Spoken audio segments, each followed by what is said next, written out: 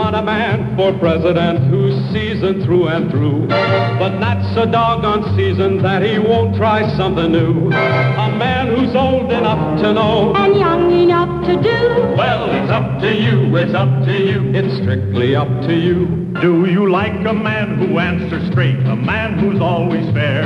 We'll measure him against the others, and when you compare, you'll cast your vote for Kennedy, and the change that's overdue. So strictly up to you. Kennedy, Kennedy, Kennedy.